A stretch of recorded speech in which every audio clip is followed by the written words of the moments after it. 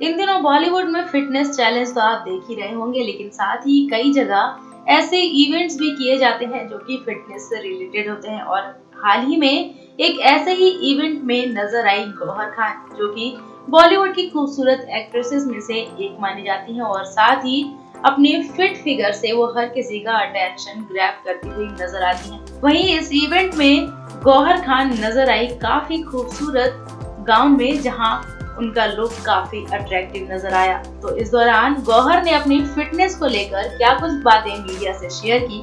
चलिए सुनाते हैं आपको। I like to stay happy first of all, and secondly, I'm a weight trainer. I like to lift weights in the gym.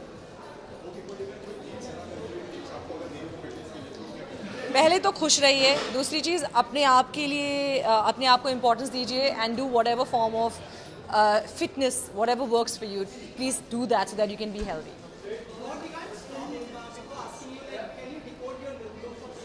Yes, I'm wearing uh, Supriya Munjal. Uh, the gown is by Supriya Munjal. And of course, styled by my one and only Devki. Next Nine Live से जानने की report